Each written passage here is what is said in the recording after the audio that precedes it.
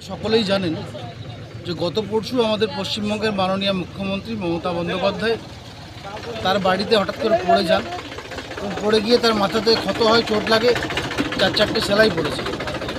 আমাদের পশ্চিমবঙ্গের সাড়ে দশ কোটি মানুষের মাথার উপরের বটগাছি বলুন বা সকলের মাই বলুন, আমাদের মুখ্যমন্ত্রী মমতা বন্দ্যোপাধ্যায় তার বিভিন্ন প্রকল্পের মাধ্যমে সেটা বুঝতে পেরেছে। তো তাই আমাদের এই মায়ের সুস্বাস্থ্য কামনার জন্য এবং তার দ্রুত আরোগ্য কামনার জন্য আমাদের আজকের এই যজ্ঞানুষ্ঠান নন্দী পার্টি অফিসের সামনে হনুমান মন্দিরে আমরা করছি। এক নম্বর ওয়ার্ডের আনসার মিউনিসিপাল কর্পোরেশন প্রার্থনা করুন যাতে তাড়াতাড়ি সুস্থ এবং এই যজ্ঞের মাধ্যমে আমাদের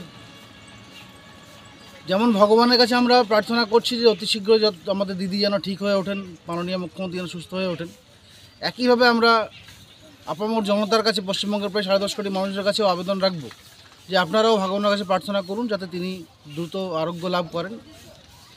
এবং আপনাদের সকলকে আবারও আগামী লোকসভা নির্বাচনে দিদির পাশে থাকার জন্য, তৃণমূল কংগ্রেসের সাথে থাকার জন্য আপনাদের অনুরোধ রাখব।